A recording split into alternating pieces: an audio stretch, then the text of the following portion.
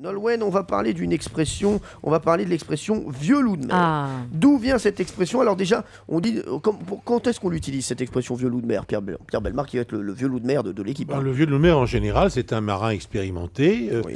généralement aussi qui est sur la fin de sa carrière, et, ou, même qu'il l'a terminé, et c'est donc un vieux loup de mer. Il est plutôt à terre, hein, le vieux loup de mer. Il n'est pas tellement en mer. voilà. Alors, on, Ouais. on- on parle d'un vieil homme endurci, expérimenté. Oui. C'est le vieux loup de mer. Alors, d'où vient cette expression Valérie Benahim. Bah, on est au début du, du 19e siècle. Vous savez que les mers sont très, euh, très euh, occupées. Il y a beaucoup, beaucoup de, de bateaux qui, qui sillonnent les, les mers. Et quand les marins voyageaient en, en très petit comité, en, en très petit nombre, eh bien, ils euh, revêtaient des peaux de loup en pleine mer pour éviter justement de, de se faire accoster par les pirates qui viendraient euh, euh, les, euh, les, les embêter puis D'accord. voler toute la cargaison. Donc ils, ils revêtaient ces, ces peaux de loup pour essayer de faire croire, parce que le loup évidemment c'est effrayant, donc c'est pour Ouais, éviter de... Donc les pirates voyaient les mecs, oh ils sont déguisés en loup, Non, on parce que de loin, de Les, loin les- comme les ça, mecs, les mecs qui faisaient le météo, laissez tomber, on va s'attaquer à d'autres gens. Là, Pas du vu. tout. Et Non, ils ont des peaux de loup là. hein. Là, Parce que là, on là, mais peut- c'est- ils se retournent, il y a des mecs en doudoune, là ça va, c'est mieux. Voilà. Il y avait la croyance en l'homme loup, donc ils imaginaient que les mers étaient Ah, hantées par des hommes loups. Voilà. D'accord, merci. Bien sûr. Qu'est-ce qu'elle va pas chercher Non. Thomas Hervé. C'est beaucoup plus technique et simple que ça. Un vieux loup de mer, en fait, le loup, vous le savez, c'est un poisson, c'est le bar, et on a du mal à l'attraper parce que voilà, il est très difficile à choper. Et donc, en fait, quand on dit un vieux loup de mer, quand on réussit à attraper un bar comme ça en pleine mer, c'est une fierté et ça arrive pas souvent. Et surtout quand il est très très âgé, on dit oh dis donc ça c'est un vieux loup de mer. Et l'expression est restée, elle vient tout simplement euh, de la pêche et des marins du Oui, sûr. Voilà. D'accord. Vous en fait, vous avez, vous savez rien sur rien, mais vous avez de l'aplomb. C'est ça, je l'ai dit. Je l'ai dit. vous avez raison. Il est hein, péremptoire. vous avez raison, Jean-Luc Lemoyne. hein. Pierre Belmar. Alors, vieux loup de mer, tout simplement, c'est c'est la solitude du loup. Qui Ah, a, ouais. Voilà, le marin est solitaire en général. hein, bon. Donc, euh, et le loup, bien que se déplaçant en meute, est souvent solitaire aussi. Donc, il y a la meute de l'équipe. C'est pas bon, c'est pas bon.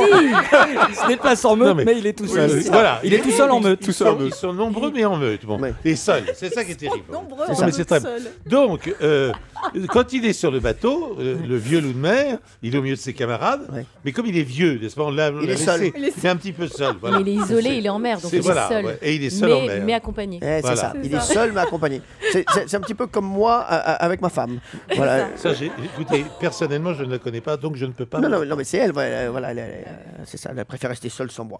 Alors, vous avez une explication, Jean-Luc Lemoyne, ou est-ce qu'on est obligé de, de- de- de vous passer êtes- par vous Vous n'êtes pas obligé, mais. Si, on est obligé. C'est parti. Mais non, ça vient du monde de la piraterie. euh, Ah. Tout à l'heure, Valérie en a parlé, mais, mais mal comme d'habitude.